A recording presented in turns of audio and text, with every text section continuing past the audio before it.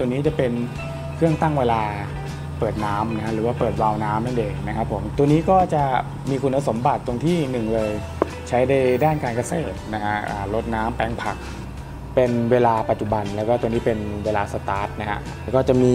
how long นะครับเป็นการปล่อยน้ำนะฮะ how often นะครับผมก็จะเป็นการปล่อยน้ำทุกกี่นาทีทุกกี่วิ ตัวนี้นะฮะจะเป็น